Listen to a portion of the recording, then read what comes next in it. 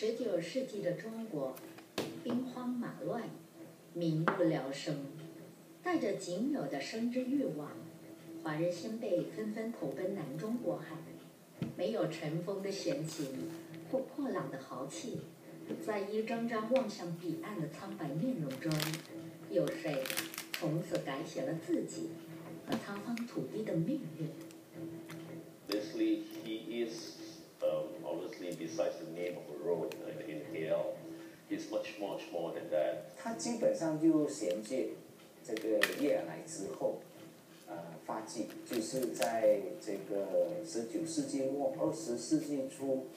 呃，算是最风光、事业成就非常大的一个一个人。首先第一个啊，就是诗人啊，他就压电人这个他，那么他也没有节目不是，真的没有，他一个人来嘛。他是南安人，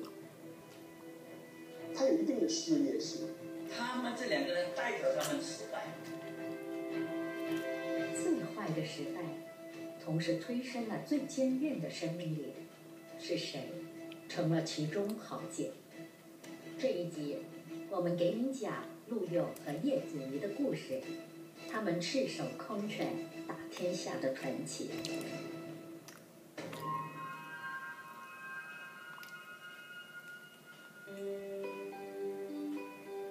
吉隆坡这个马来西亚最繁华的大都会，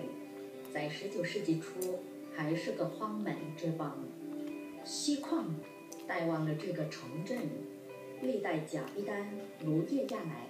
为其开埠建设投注了无限心血。陆佑是吉隆坡另一位建筑工程，他如何崛起，成为新一代的领袖？陆佑个人的事业的发展，也跟吉隆坡的发展、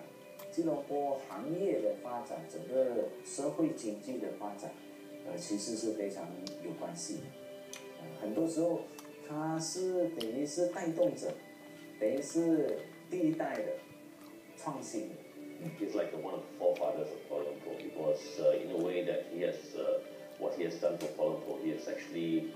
uh, shaped Kuala Lumpur through his uh, contributions to the uh, various forms of services like education, uh, like health services, 陆佑，本姓黄，来自广东，双亲去世后卖给一个姓陆的地主当仆人，改姓陆，名佑。一八五八年，他离开生活困顿的老乡，到传说中满是黄金的南洋闯天下。因为没有盘川，就和人签了一纸租宰约，过番南下。又又是卖猪脚来了，很辛苦的。跟第一代的这些华华族领袖一样，呃，早期都是这个啊、因为相对的贫困南来，南来过后，当然就是来到这里打拼，呃，那一代那一代的人绝大部分是投入这个锡矿的工作比较多。初到南洋之地，身强体弱的他被派到柔佛的荒山野地当矿工，做了三年的苦力，还清了租宰约后，便到新加坡的烟酒厂工作，存了些钱，就和朋友合资开了一间名叫东兴隆的杂货店。木业首先在杂货店里面做都都是存了这个这个整百块，然后那么刚刚听到啊，那个这个太平那边啊，有开这个很大的地方，他跑到那边去。我首先当然你一百几十块怎么做做做是吧？就后来啊，他就做那个厨师厨师的这个地方里面，钱钱不多了。我把听说他最会煮的吗？就是蛋炒这个韭菜，他他他他把那个蛋啊，这个这个蛋就比较不太好的蛋啊，软壳的蛋很便宜的嘛，一分钱八厘是吧？他打了煮的，他炒了一大堆啊，就给吃了，啊，这也赚了钱。立志赚大钱的陆勇，于是和朋友在甘文丁开矿，却因拉绿之战而惨败收场。期间，他给英军做运粮的生意，后来东山再起，与冰城的邱天德合作开心矿，又遇上西家大跌，心灰意冷的他，于是回去阔别多年的老乡。一八八六年，陆佑再度南来，遇见了他生命中的伯乐赵玉。赵玉是叶亚来的战友，在收复吉隆坡的战役中鞠躬神勇，是雪州最大的矿主之一。陆游在赵玉的提拔和英殖民政府的需求下，参与重建火灾浩劫后百业待兴的吉隆坡，凭着过人的才智勤奋。进入土木，最大的广东人嘛，赵玉嘛就指点他怎么怎么样去去去发，但是他手上有钱，所以呢他就发展起来了。那还有啊，他英国人需要他帮忙，英国人需要什么呢？需要劳工力，那么但是中国人过来又很多的广东人来，这下我们当然他搞搞搞什么？他有七八种的生意了，收不收税就做包税不是收税，包。报税是工程很重要，呃，塑胶、交通、政治等等很多了，七八样的这种东西啊，所以他的它的生产啊是是它的生意是多样化的。因为涉足矿业及其相关的小马生意，还有经营种植业、木材业等，需要大量的劳工，陆游引进了大批的广东籍乡亲。到多个地方开发，形成了一股新兴的广东势力。本来这个吉隆坡是靠画的，但是陆游当时他作用很大，做很大生意啊。他从中国啊招募了这个几万的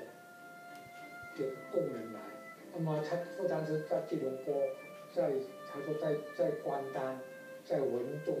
在怡保、在太平。一直打到呃这个南部的等到芙蓉，芙蓉就是我讲广广广东话吗？其他地方话是广东话。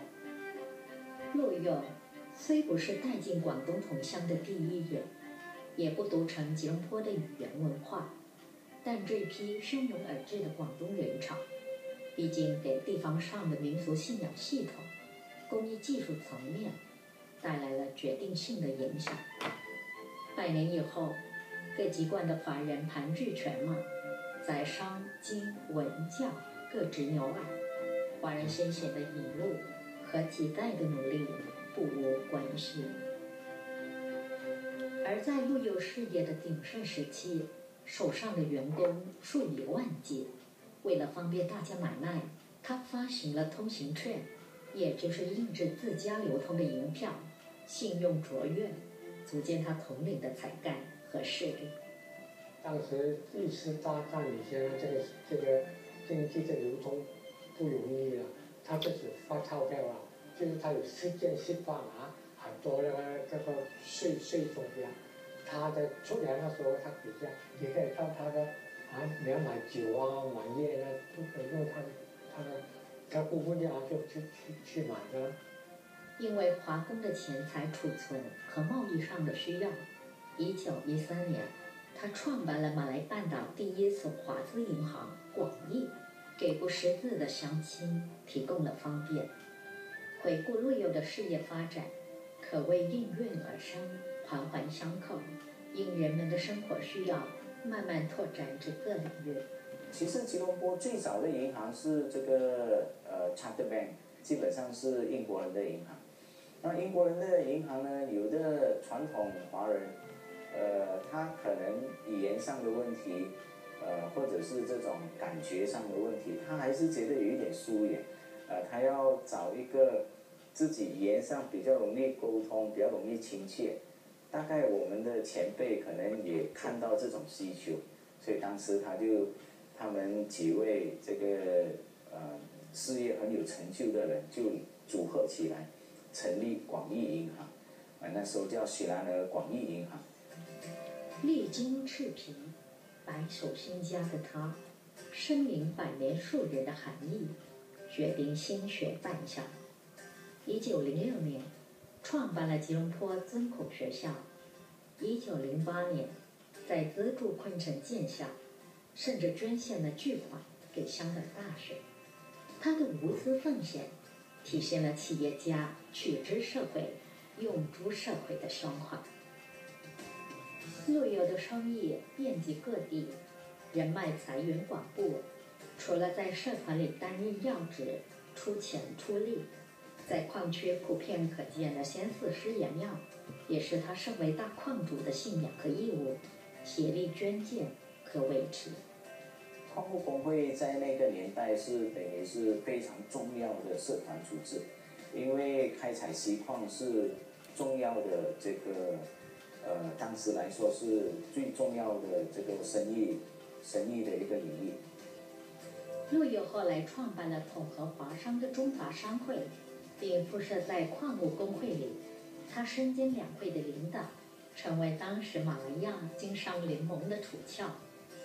实际上，他对我们中华大会堂也非常重要，因为为什么呢？中华大会堂，呃，一九二三年成立，但实际上一九二三年之前，甚至早早在叶光社时代，当时的一些比较有远见的社团领袖、华社领袖啊，就开始谈到说，呃，吉隆坡、雪兰莪地区，呃，实际上已经有很多不同类型的血缘、地缘。业缘性组织呃已经创立，但是就是没有一个统合的机构，所以当时就觉得说应该有换有一个统合性的组织，也就是我们今天的中华大会。那陆佑呢，为了表示他全力支持这样的一个概念，所以他率先就捐了三万块，所以我们可以说中华大会堂这个。这个会所这栋建筑能够落成，这个组织能够创立，呃，陆佑有非常大的贡献。